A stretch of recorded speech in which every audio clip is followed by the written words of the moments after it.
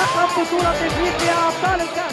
ذكريات سعيدة محفورة في عقول وقلوب أنصار نادي الزمالك تتزامن مع العاشر من ديسمبر وهو اليوم الذي كان بمثابة تميمة الفرحة والسعادة لعشاق القلعة البيضاء.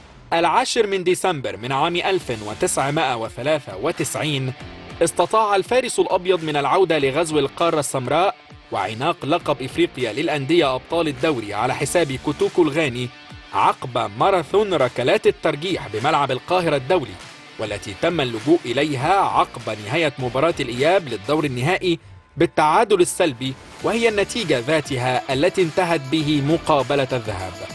وتمكن نجوم ميت عقبة تحت قيادة محمود الجهري من عناق اللقب وتدوين النجمة الإفريقية الثالثة على قميص الزمالك.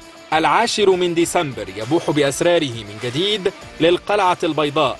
وينجح فرسان ميت عقبة في الظفر بلقب إفريقيا للأندية أبطال الكؤوس في عام 2000 للمرة الأولى في تاريخ النادي على حساب كانون ياوندي الكاميروني تحت قيادة الألماني أوتو فيستر حيث عاد نجوم الزمالك محملين بالكأس من العاصمة الكاميرونية ليكون الأمر بمثابة مسك ختام للقرن الذي حقق خلاله أبناء النادي الملكي تسعة ألقاب قارية وضعتهم في صدارة الأندية الأكثر تتويجا بالألقاب الإفريقية على مستوى القارة. عاش الزمالك زعيم القارة الإفريقية والنادي الأكثر تتويجا بالألقاب القارية في القرن الماضي. وعاشت جماهيره الوفية في سعادة وأفراح.